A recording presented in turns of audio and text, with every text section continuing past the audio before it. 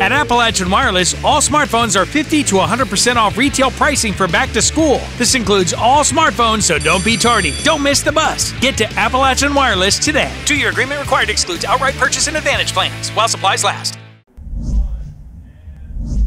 Good evening, everyone. Summer back in a big way out there today. Temperatures climbing into the mid and upper 80s. Once again, the 90 degree readings will be pretty common as we head into the day tomorrow.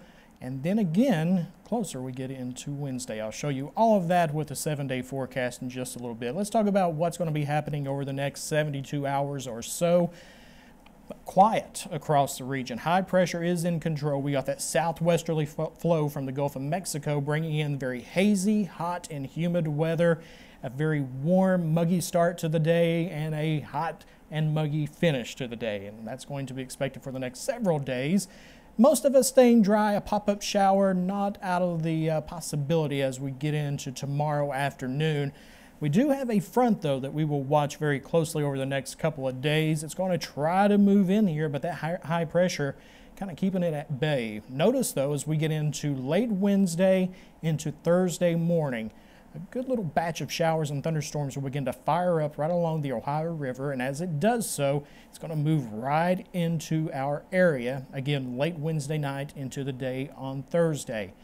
So we do have a better chance of rain as we get into midweek, and then things kind of die out. It gets very quiet once again with the muggy weather continuing. Let's talk about how hot it's going to be. When you wake up tomorrow morning, you will notice a little fog along with the humidity, 70 degrees in Pikeville, Williamson, and Louisa, 69 degrees in Inez, Prestonsburg, Paintsville, uh, 68, I should say, in Jackson, and 70 degrees in West Liberty. For tomorrow afternoon, where you see the pink shading, temperatures flirting or exceeding 90 degrees. You can see Louisa at 91, 90 Prestonsburg, 90 in Paintsville, Inez and Pikeville, 89 in Williamson, and 88s from Jackson to Hazard and West Liberty. As I mentioned, it's going to stay very, very warm and muggy throughout the seven day forecast 90 tomorrow, 90 Wednesday, 83 a little cooler with those showers and thunderstorms hit and miss on Thursday, 85 Friday, and then I think we are back